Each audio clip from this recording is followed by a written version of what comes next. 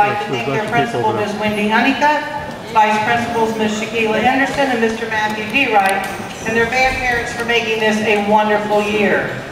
We also wish to thank them for their continued support, for their work in the support of the music, instrumental music and the arts at Bellalago.